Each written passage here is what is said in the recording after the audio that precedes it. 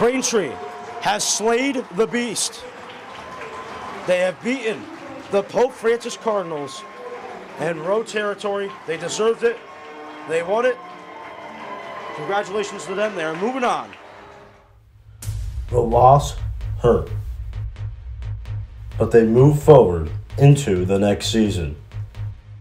And they never looked back.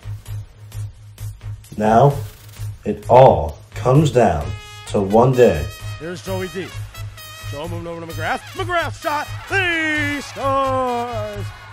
One game. Ladies and gentlemen, the Pope Francis Cardinals, time running down. They are going to head to the TD Garden. Are you kidding? Three seconds to go. It's over. It's over. The Cardinals are heading to the Garden. The Cardinals are heading to the Garden. One shot. Get off the ice, they can't. Ball up again. Shot. Sid Emerson. It's a tipping goal for Moss County. Moss County makes it a two-goal lead again for Pope. One goal. We'll step back, look around, find Ivy. Josh scores! He scores! He scores! Josh Ivy! Josh Ivy wins it for Pope! Are you kidding? Hello, Josh Ivy! Oh my gracious! Today, we crown a state champion.